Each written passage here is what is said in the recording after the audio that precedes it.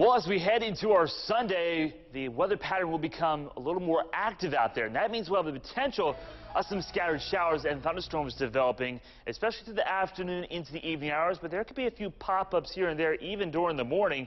And with the clouds and rain around, notice the temperatures upper 80s to low 90s at best. So we are done with that streak of 95 degree heat or higher. And as we head into the rest of the seven day forecast here, a chance of showers and thunderstorms for Monday into Tuesday.